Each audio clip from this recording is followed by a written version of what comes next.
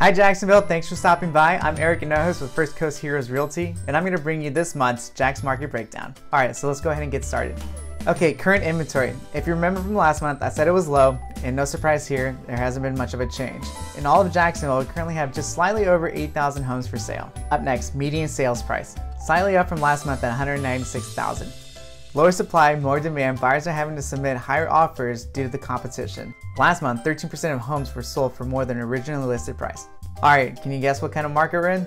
That's right, we're in a seller's market. If you're considering selling your house, let's go ahead and talk, that way you can fully understand what the market is doing. If you're considering buying a house, competition is high and time is of the essence. So, when you find your perfect home, let's go ahead and be ready and make an offer as soon as we can. Let's talk about your options and possible strategies. Alright guys, thanks for stopping by and watching here at First Coast Heroes Realty. If you have any questions, go ahead and give us a call at 904-607-7202. Or you can email us at team at firstcoastheroes.com. And if you're watching this video on our website, we have a free gift for you. See that red button below? Go ahead and click it and you can download this month's market stats breakdown. Alright guys, thanks so much for watching and stay tuned for next month's Jax Market Breakdown. Talk to you soon. Bye.